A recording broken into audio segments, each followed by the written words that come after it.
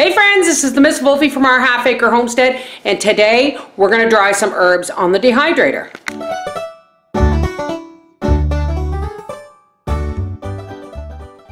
Okay, first things first, I'm going to start with the parsley.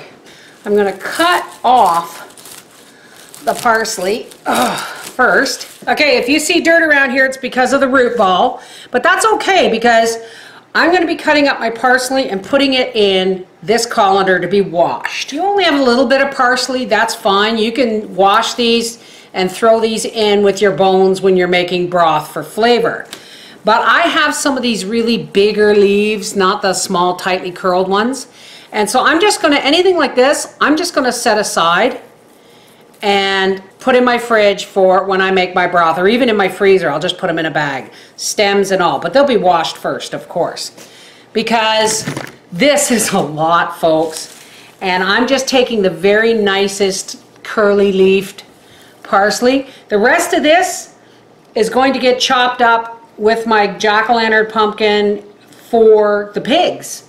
So I'm going to keep out some of the bigger ones that I won't dehydrate and keep the small ones for, for drying and the rest we can go to the bags. Now there's going to be a lot of folks who are going to ask me why I am not hanging these to dry. I've done that actually already. My first harvest I did hang to dry but I'm going to dry them on the dehydrator. Now there is a trick folks.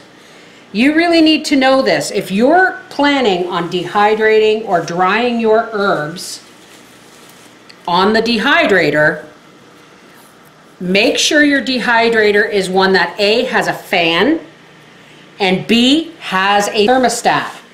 Why? Well, herbs are delicate, especially medicinal ones, but even just your kitchen herbs, if you dry them too hot, you're going to lose flavor, vitamins, all kinds of stuff. You're going to lose all the essential, you're going to damage the essential oils that are in your herbs. When you dry herbs on your dehydrator, make sure you do not turn it any higher in temperature than 95 degrees. Okay, so when I have all this done, we'll be back. Okay, so there is the parsley I'm saving for my bone broth. Here's what's going to the pigs. And here is a great big colander, which I'm going to rinse. And then I will see you in the pantry. Okay, so I've got my regular dehydrator tray. And I'm going to put one in the bottom for better air circulation.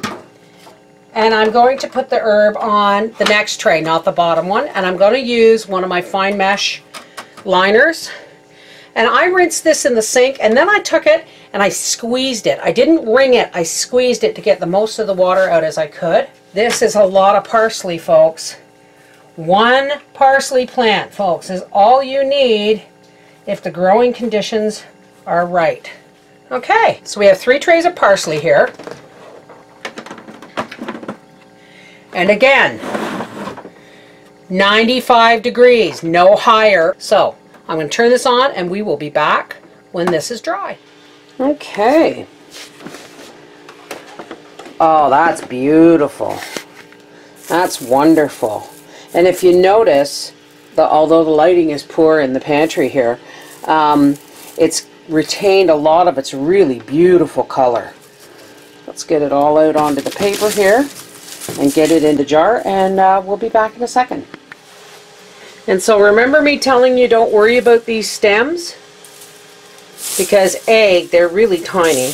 But as soon as you do this, before putting it in the jar, you just gently kind of rub it together. Oh, it smells lovely too.